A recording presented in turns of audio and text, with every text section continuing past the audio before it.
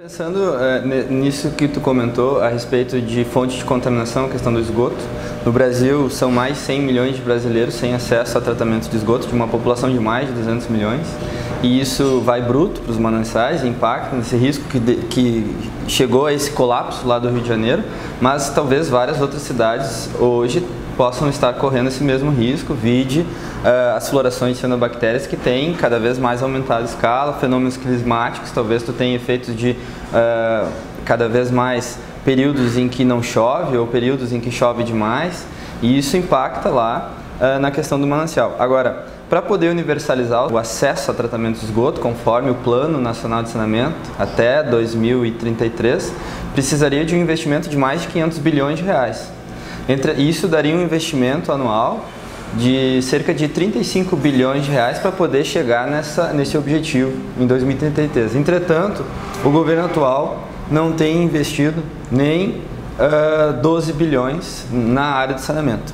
E aí, saneamento a gente tem atendido majoritariamente pelas empresas públicas estaduais que seguem aquela lógica do subsídio cruzado. Em paralelo a isso, a gente tem o novo marco regulatório que abre um caminho para talvez a privatização e pegar essas cidades que, eh, de acordo com a apresentação do próprio secretário nacional de saneamento, são média nacional de cada estado, tem 18 cidades que são economicamente viáveis, as outras sobrevivem de subsídio cruzado. Como fica essa demanda do tratamento de esgoto nesse contexto de novo marco regulatório e de falta de investimento no setor de saneamento? A tua pergunta remete aqui à necessidade de um contexto né, histórico das políticas de saneamento do país. Né?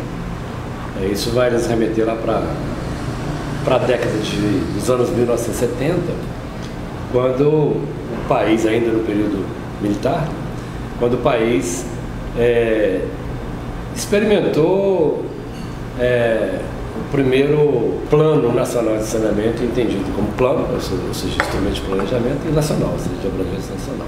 Até então o saneamento era exercido de forma um tanto quanto fragmentada e pulverizada. O modelo construído então na década de 1970 é, era pautado, como você mencionou, na criação das companhias estaduais de saneamento.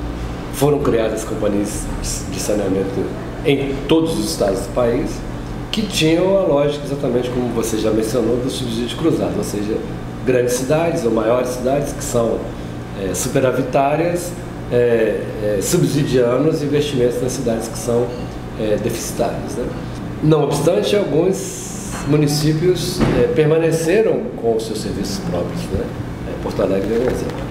Uhum. apesar de ter sido montada a Companhia Estadual de Saneamento do Rio Grande do Sul, Porto Alegre foi uma das capitais brasileiras, das poucas capitais brasileiras. A única, né?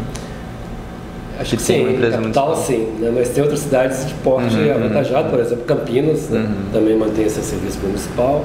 E algumas cidades de porte médio, por exemplo, Minas Gerais, né? de onde eu venho, Uberaba, Uberlândia, Juiz de Fora, são cidades de porte médio para Mas grande. isso lá em 1970. É, mas e, mantiveram. e mantiveram. É, porque eu estou falando do período militar, então, uhum. então, naturalmente os processos não eram transparentes, democráticos. Né? Então, esse modelo que foi concebido, ele foi imposto. Né? Uhum. É, o, as companhias estaduais e, e, a lógica do subsídio cruzado precisavam dos grandes sistemas e estrangulou os, as cidades que não aderiram é, ao, ao, ao, plano, né? ou seja, que não entregaram a concessão para a companhia estadual. Durante anos, é, não tinha acesso a financiamento, por exemplo. Então, os financiamentos que foram feitos, os investimentos que foram feitos em saneamento nessa época, por exemplo, em Porto Alegre, ou em Juiz de Fora, ou em Uberaba, em Campinas, foram feitos com recursos próprios. Né? Esses municípios foram estrangulados economicamente como uma forma de pressão econômica para aderir ao Planasa. Uhum. Bom, de qualquer maneira, o Planasa ele conseguiu avanços importantes ao longo. O Planasa tem início na década de 70 e a gente pode identificar o ocaso do Planasa com o final, exatamente com o final do período militar. Outra, outra, outro, uma outra característica importante do Planasa era o mecanismo de financiamento, que era via BNH, Banco Nacional de Habitação, com recursos do FGTS, né, Fundo de Garantia é, por Tempo de Serviço, né, recursos do FAT, Fundo de Amparo ao Trabalhador. Então tinha um mecanismo de financiamento uhum. é, é, estruturado. Né? É, com o final do período militar, o BNH foi extinto. Né? É, então o Planalto ele foi é, dando é, indícios de esgotamento enquanto modelo. Né? E com a abertura democrática, com os, né, os ventos de redemocratização do país também, é, se cria algo mais transparente, mais democrático, que, por exemplo, não fosse imposto sobre os municípios. Né? A relação das companhias estaduais com os municípios nunca foi muito é, horizontal, né? uhum. embora a titularidade de serviço por, pela, por força da Constituição seja do município. Enfim, o Planasa, para o que importa talvez mais diretamente para a nossa conversa, o Planasa conseguiu avanços importantes em abastecimento de água. Uhum. Né?